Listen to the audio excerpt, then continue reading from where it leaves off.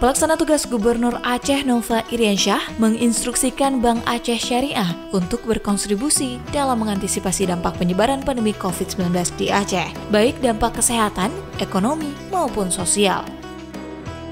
PLT Gubernur mengatakan, karyawan Bank Aceh harus disiplin dalam menerapkan protokol kesehatan. Jangan sampai aktivitas Bank Aceh harus terhenti akibat munculnya klaster baru penularan virus corona, kata Nova saat menjadi Inspektur Upacara Peringatan HUT Bank Aceh Syariah ke-47 di kantor pusat Bank Aceh, Banda Aceh, Kamis 6 Agustus 2020.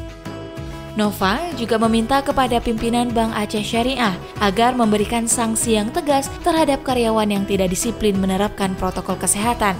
Untuk memulihkan dampak ekonomi dari pandemi COVID-19, Nova juga meminta pihak Bank Aceh untuk bersinergi dengan seluruh stakeholder di sektor-sektor produktif agar ekonomi daerah tetap tumbuh dan kesejahteraan masyarakat tercapai.